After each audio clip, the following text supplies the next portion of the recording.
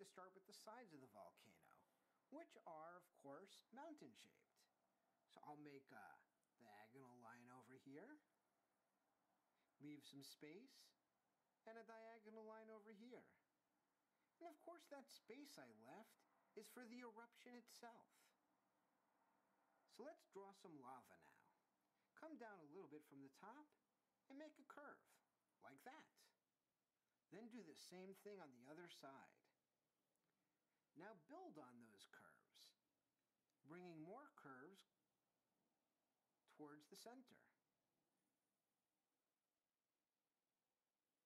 Now lava is very thick, so there'll be many leading edges of the lava, and we can draw those with more curves like that.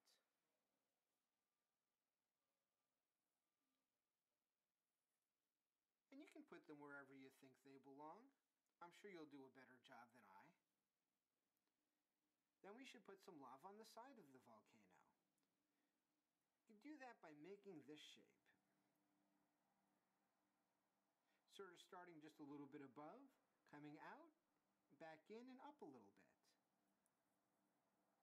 Do that on both sides. And hey, we've got lava coming out of our volcano. Next we need the explosion. And that can be done with a lot of bold straight lines like this. Bold straight lines. And the lines in the middle should start a little bit lower than the lines on the edge to help show that the volcano has a round lip. Next, we put the cloud. That's right, the big cloud that comes out of the explosion. And that's all the dust and smoke and whatnot. There's a lot of whatnot. And this is similar to the cloud we drew in the first episode of Doodling with Reverend J. We simply make a bunch of curves and put some curves on the inside like that.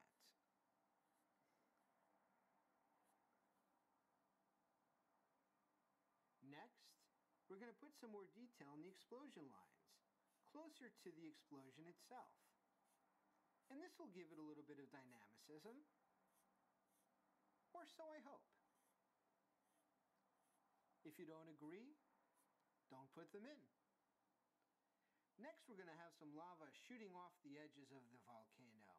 And that can be represented with little teardrop shapes. And just remember, the uh, point of the teardrop should probably point towards its source.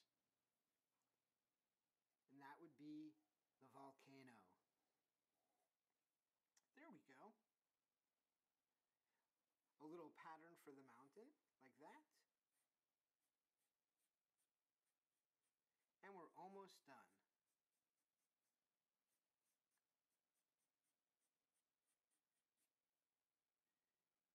Now we could just give some ground around base of the mountain using our old friend, the grass pattern, which is nothing but just wiggling the pen up and down as it goes across the page. And that's basically it.